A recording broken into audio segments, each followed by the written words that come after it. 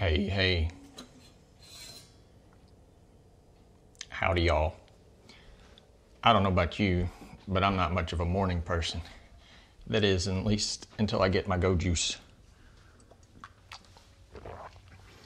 Now, since we're doing these benchmarks, uh, testing the Qwen 3 14B and 32B, I didn't figure we'd be doing ourselves any justice until we tested the RTX 3090. So that's what we're going to be doing today.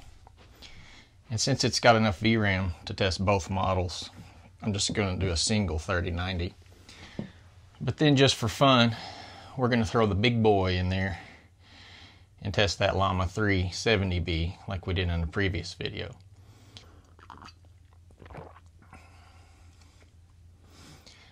And since we recently did a video running the Llama 3 70B with some other options, including the 5090.